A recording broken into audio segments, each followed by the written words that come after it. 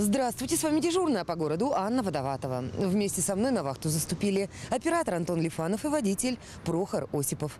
Ну а колесим мы по дворам и улицам Перми. На комфортабельном автомобиле Лифан Салана от компании «Демидыч», что на КИМ-75.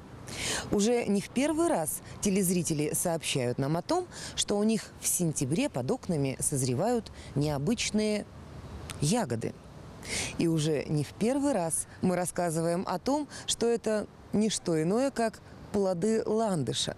Вот такое удивительное растение. И по весне цветет красиво, и по осени глаз радует.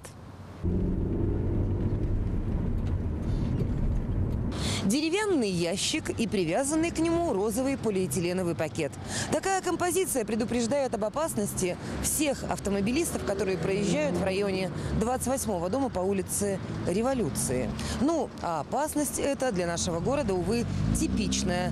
Открытый канализационный колодец посреди проезжей части. Не первый день он уже открыт, и ни одна машина в него колесами за это время угодила.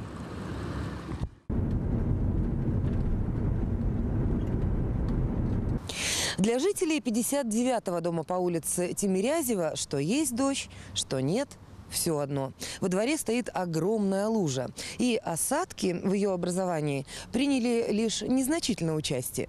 Большая часть воды из водопроводной трубы. Как утверждают местные жители, труба бесхозная. А потому все попытки обратиться в коммунальные службы заканчиваются безрезультатно.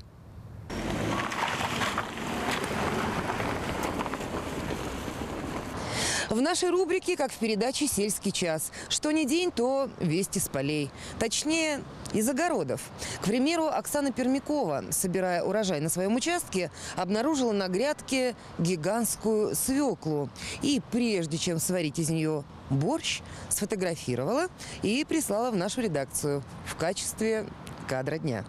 Тем временем Аня Подденных рассказала нам о том, что как-то в Анапе попробовала желтый арбуз со вкусом ананаса. Прихватила тогда от него семечки, и в этом году у себя в огороде на грядке точно такой же арбуз вырастила. Кстати, и нам семечки от него прислать обещала.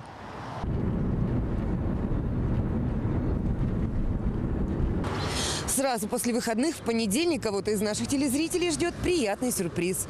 Подарок за лучшую новость этой недели. Но конкурс-то на этом не закончится. Так что мы по-прежнему с нетерпением ждем от вас сообщений, которые вы можете передавать, как всегда, в информационно-справочную службу дежурный по городу по телефону 2 630 300. И на этом заканчивает свою работу дежурная бригада в составе Анны Водоватовой, Антона Лифанова и Прохора Осипова. Хорошего вам настроения, независимо от капризов погоды. Удачи и до скорой встречи.